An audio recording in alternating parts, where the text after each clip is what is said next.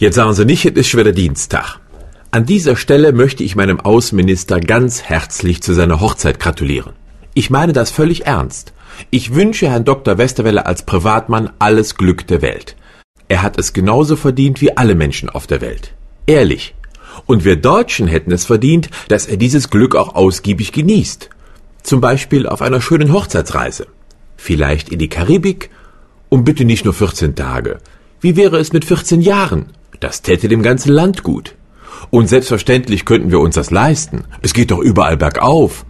Ein extrem forsches Wirtschaftsforschungsinstitut aus Kiel erwartet für den Sommer 2011 sogar eine Rentenerhöhung um 0,75 Prozent. Gut, dass so etwas rechtzeitig ausgerechnet wird. Bei einer Durchschnittsrente von knapp 1000 Euro haben die Rentnerinnen und Rentner jetzt gut 10 Monate Zeit, um sich auf den Geldregen von 7,50 Euro im Monat vorzubereiten. Und verkneifen Sie sich bitte jetzt jeden Witz darüber, dass man sich für 7,50 Euro nicht mal eine Lupe leisten kann, ohne deren Hilfe die Erhöhung gar nicht wahrnehmbar ist.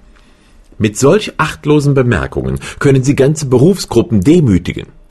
Für 7,50 Euro muss ein niedergelassener Hausarzt zum Beispiel fast zwei Stunden arbeiten gehen.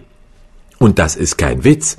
Zumindest befürchte ich, dass der Hausarzt, der letzte Woche auf der Ärztedemo in Essen ein Holzkreuz mit der Aufschrift Hausarzt gleich 3,99 Euro pro Stunde vor sich hertrug, das tatsächlich ernst gemeint hat.